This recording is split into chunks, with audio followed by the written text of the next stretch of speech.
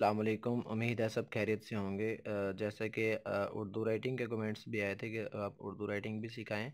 तो उर्दू राइटिंग के लिए आपके पास स्टार्टिंग में पेन होना चाहिए, ink pen, fountain pen.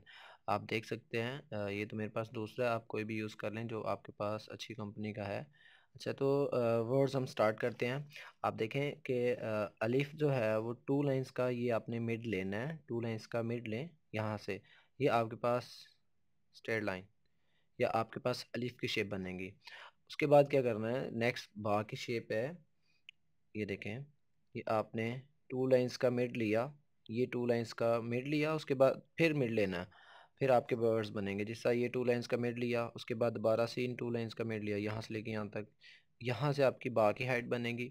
Next इसके बाद आपका जीम है कि इसके बाद यहाँ से और यहाँ तक का मिड लेना है मतलब वन, टू, थ्री, तीन डॉट आ जाएँगे उसके बाद आपने ऊपर वाला जीम यहाँ से शुरू करने के बाद ये सेवन बनाना है और ये पीछे को गोल कर देना है। दोबारा से ये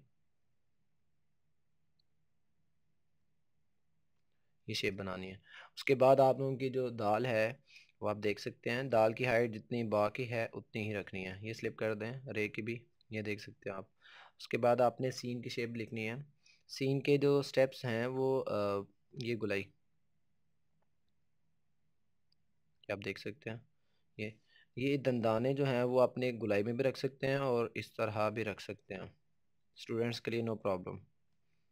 और मैं ये राइटिंग लाइन के ऊपर लिख रहा हूँ तो आप स्टूडेंट्स के लिए कोई मसला नहीं है क्योंकि स्टूडेंट्स कैलीग्राफर नहीं होते तो उनके लिए लाइन के ऊपर भी लिखना आ, कोई प्रॉब्लम नहीं है वो लिख सकते हैं। उसके बाद जो है आप देख सकते हैं स्वाद की शेप है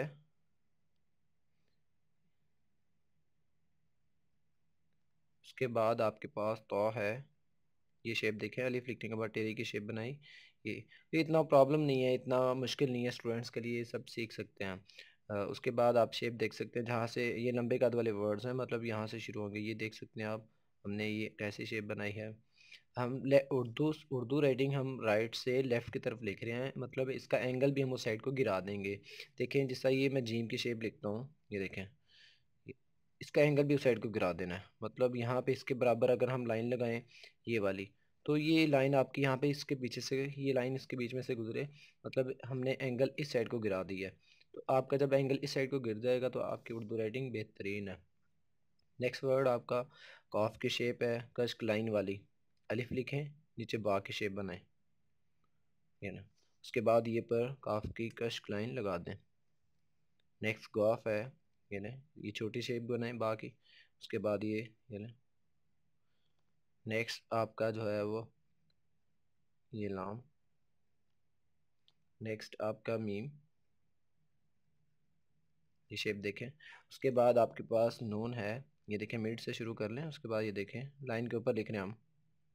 ये आप देख सकते हैं, किस तरह लिखा गया है। उसके बाद वाव की शेप है, ये।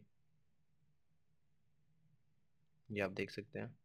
नेक्स्ट आप देख सकते हैं हा की शेप इनकी हाइट जो छोटे कद वाले हैं वो छोटे से होंगे मतलब टू लाइंस का मिड लें फिर मिड लें उसके नीचे लिखा जाएगा। तो जो दरमियाने कद वाले हैं वो टू लाइंस का मिड लेके वहाँ से शुरू करें, आपके वर्ड्स बेहतरीन बनेंगे साइज़ भी नॉर्मल बनेगा, इतना बड़ा नहीं बनेगा। उसके बाद आपकी हे की बानी है, ये आपने दाल की शेप इस तरह एक साइड को लिखनी है और स्वाद दोबारा लिख दें। उसके बाद आपके पास छोटी है, यहाँ से लेके यहाँ तक आपने एक हुक सा बनाना है यहाँ तक। ये बनाने के बाद आपने ये कॉर्नर सा उठा देना है। मतलब अब नेक्स्ट टाइम जो है वो आपकी ये देखें, ये शेप बनेंगे। ये वाली। ठीक हो गया। उसके बाद आपकी बड़ी ये है। आपने बड़ी में क्या बनाना है? ये शेप यूँ रखने के बाद, ये देखें। यहाँ से ये आप स्ट्रेट लाइन भी चला सकते हैं। मैंने दो वर्ड्स नहीं लिखे, काफ और फे। वो आप देख सकते हैं, जैसा वाओ की शेप हमने बनाई थी, यूँ करके, जैसा वाओ का सिरा बनाया। मतलब वाओ का सिरा हमने बनाया था, यूँ देखें एल ऊपर लेके जाएँ, वापस आएँ, साथ जोड़ें। ये इस तरह छोटा सा लिखना है कि आपका ये छोटा सा लिखा जाए। ये आप देख सकते हैं। यहाँ से मिड से शुरू कर लेना है यहाँ से बैक से गुलाई करते आना। है ये लें ये आपकी कॉफ। उसके बाद आपका फे है।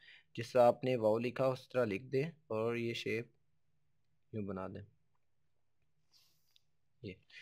तो आप सब देख सकते हैं यहाँ पे वर्ड्स लिखे गए हैं जैसा ये बा की शेप बनी। अब ये बा दोनों जब जहाँ से स्टार्ट किया और जहाँ से एंड किया ये आपके बराबर होना चाहिए। जीम आपका यहाँ से ये देखें, आप देख सकते हैं पीछे से हमने इस साइड को गिरा दिया है। तो आपके जो छोटे दरमियान वाले वर्ड्स हैं वो दरमियान से शुरू होंगे। तो ये इन वर्ड्स को लिखने से पहले आप लोगों ने प्रैक्टिस जो मेन करनी है, वो टू लाइंस का मिड लेके नून गुना की करनी है। जिस तरह आप देख सकते हैं, ये अलिफ लिखा, उसके बाद ये शेप बनाई। अलिफ लिखा, ये शेप बनाई। अलिफ लिखा, ये शेप बनाई। ये आप देख सकते हैं मतलब आप राइटिंग लाइन के ऊपर लिखेंगे, स्टूडेंट्स के लिए ये न्यू रूल है कि आप सब लाइन के ऊपर लिखें। फिर राइटिंग बेहतरीन निकलेगी। स्टूडेंट्स कैलीग्राफर नहीं है तो वो स्टूडेंट्स को स्टूडेंट्स वाली ही राइटिंग सिखाई जाए तो वो बेस्ट रहेगी।